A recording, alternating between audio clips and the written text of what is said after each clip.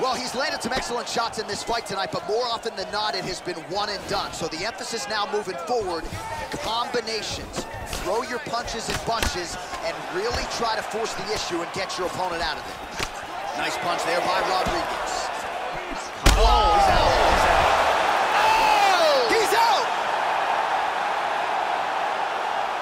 Landed a big kick for the knockout. Oh, absolutely one for the highlight reel right there. A tremendous kick to spell the end of the night for his opponent, and for him, I should say, but just caught him flush, full force, beautiful extension on the kick, and the fight was really over as soon as that one made contact. I'm not even sure he was conscious when he hit the canvas. Outstanding performance here tonight.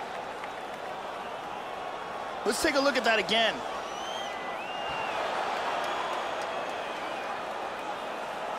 Check it out again.